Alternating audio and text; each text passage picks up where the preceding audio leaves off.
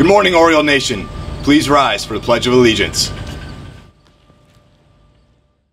I pledge allegiance to the flag of the United States of America and to the republic for which it stands, one nation, under God, indivisible, with liberty and justice for all. Good morning and happy Tuesday, February 4th. Happy birthday to Brooklyn Greeno and Ethan Sadoff. Congrats to the following FBLA members on moving forward to state. Cybersecurity, Corinne Martin. Intro to Business, Sierra Gondine. Sales Presentation, Jenna Bledsoe. And Website Design, McKenna Getch and Malachi Benzo. And now, let's go to the weather with Serena. Hey guys, welcome back to your Oriole weather. Today there is a high of 27 with a low of 10. Today's national day is National Thank a Mail Carrier Day. Thanks, Shannon. That's all I have from your Oriole weather. Back to Hattie in the studio. Thank you, Serena. There will be a donut sale on February 11th for $1.50. And now let's go to the sports with Becca and Caitlin.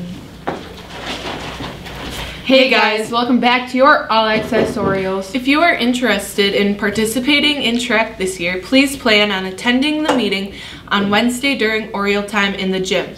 Meet the new coach, find out about the upcoming season, and get any questions answered that you may have. Congratulations to Tanner Marquardt for taking second place at the Knocked and Locked Region Shoot on Saturday. Wade Miramonte and Kendra Marquardt respectfully placed in their division. Wish them good luck for the next shoot this coming season in Green Bay at the Heat Regional Shoot. There's a girls basketball game against Berlin tonight at home.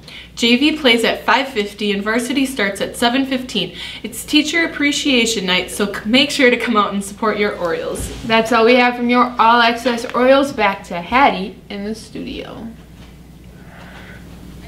Thank you, Becca and Caitlin. Seniors, make sure you pay your fees before May 21st or you do not walk at graduation. And now let's go to the joke of the day with Mr. Forsythe.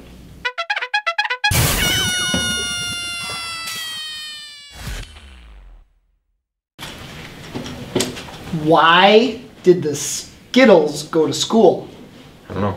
Because they wanted to become Smarties. Have a good day. Thank you, Mr. Forsythe. If you'd like to go to Germany over the summer, please see Mr. Keel to confirm your spot. And now, let's go to our segment of Tuesday Tea.